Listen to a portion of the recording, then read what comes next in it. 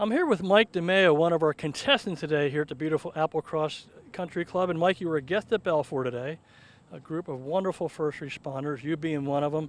It was a great pleasure for me to meet you. I hope you had a tremendous experience with winning golf. It was a great time today. I really had a lot of fun with my fellow first responders, some fun uh, competition, and learned some new skills from you. It was just a great morning.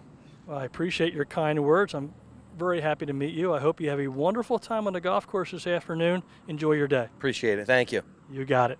Join Doug Hendricks for Winning Golf, Sundays at 7 on NBC Sports Philadelphia.